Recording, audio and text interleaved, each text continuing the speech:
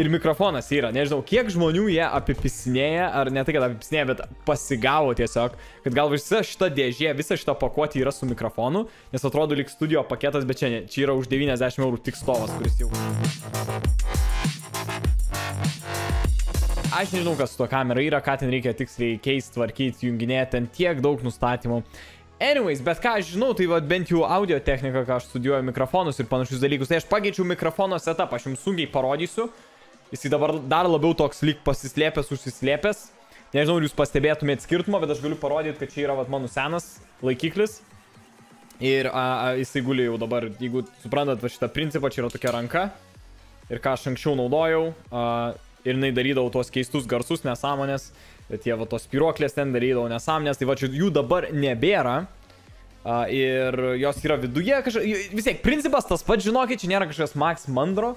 Tiesiog mikrofono stovas, simple as that, bet jis tiesiog kaip čia pasakyti, nėra mandras, bet jis yra modernus, jis yra šiek tiek išmanesnis, šiek tiek paslėptas, gražiau atrodo. Ir vat, kai filmuosiu naują šiųmetinį, šiųmetinį setupo video savo, nes tikrai begalė dalykų jau pasikeitė nuo mano seno, jeigu pažiūrėsi šuktuo setup čia tą video, a, aš jau sunkiai drįščiau tai, kad ten yra mano setupas, nes ir sakau, mikrofonų stovą pakeičiau, ir stalas pasikeitė, ir ausinės pasikeitė, ir kamera pasikeitė. Jo, biškai per daug dalykų net pasikeitė tiesą pasakius. Ir man atrodo, kompė mano net kažkas pasikeitė. Go Hashis! Oh my god, šitas čiuakas seniai. Praeitą streamą doneitinai, tu esi actually antroji vietoje, Hebra. Goal Hashis. Antroji vietoje top donoras, realiai, per šį mėnesį. Šių metų legenda bent jau, čiuakas. Nežinau, Karolis kol kas kimarina, dar kaip matai dabar seniai, tu praeitą streamą labai ten klausinėjai, koks skirtumas, tai... Karolis dar kimarina, bet nežinau, Goal Hashis, nesveikas, Bakurukas, nesveikas pastarosius streamus šaudosi doneitais. Tai va, tai jo dėka ir va išėjo taip tas stovas, kurį aš nusipirkau, jeigu kažkas neskat manęs Instagram'e, tai va kaip Setapo atsinaujinimas, tai yra va šitas stovas, manau tikrai esate įmatę girdėję, jis žiauriai populiarus, žinomas, tarp gal rimtesnių patsanų hebrantų, nes jis yra, jis brangiai kainuoja, tai va, bet gal hašio kitų donatorių rėmėjų dėka, tai aš savo pagaliau leidau ir Skau, kad man reikia turėti tiesiog normalų stovo, net nežinau, ką aš čia prieš tai turėjau su spiruoklėm kinietišką. Nu, nu pas savo stream pradžios, įsivaizduot, šitas stovas keturis metus man atitarnau. Keturis metus. Tai investicijos atžvilgių jis tiesiog yra unlimited, tiesiog neriboto kiekio vertės, nu, kaip sakyti, value prasme, kainos ir kokybės santykių, kad keturis metus atlaikė, tai čia yra crazy dalykas. Aš tiesiog iš AliExpress užsakiau už gal 15 eurų, nenoriu pameluoti, gal už 10, gal net už 10 eurų. Tai va, tai čia, jo, jisai perlaikė va šitas galiukas kebra, jisai užlenktas dabar yra. Aš dabar nerodysiu gal dėžės nuo naujo stovo. Bet va šitas galiukas, jisai gal turėjo kokius 3 mikrofonus, man atrodo, minimum. 3 mikrofonus. Tai va, jisai daug patyręs, daug kas pasikeitė.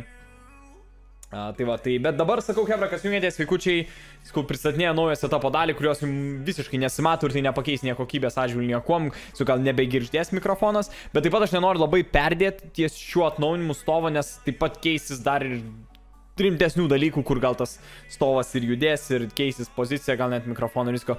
Dabar aš jį tiesiog pasistačiau minimaliai, jums sakau, vizualiai neturėtų net kažkas jaustis, to labiau garso kokybės atžvilgių mikrofonas. Tas pats laidai, tie patys, viskas same. Uh, Tai va, tai anyways, pas mus dar tokia problema ten su mikrofonu kartais būna, kad jeigu aš trenkiu per stalą, jisai kartais užtyla.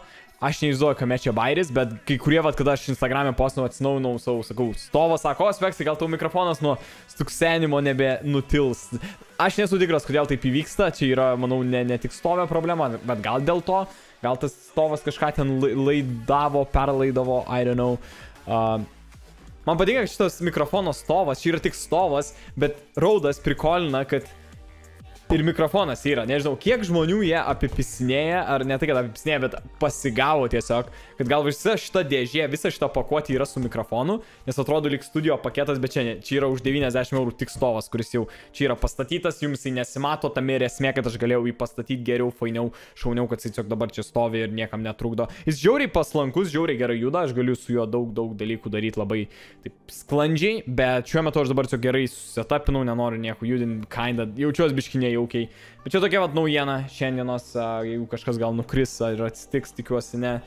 Lygtais aš gerai priverčiau viską, aš nežinau, man šiek tiek, sakau, nejaugus tom naujom tokiom atraminiam dalim, bet su kamerom ar ten kuom kitom, jie tiesiog įjungi veikia ten technika, sukas, kaip sakant, tu tiesiog pastatyti stovą. Ką tu žinai, gal ten tiesiog kažkas nafik sulūš ir pizdėts karodžia. Uh, tai va, tai vien žodžiu, Hebra, vien žodžiu, Hebra, ką mes šiandien darom, jo.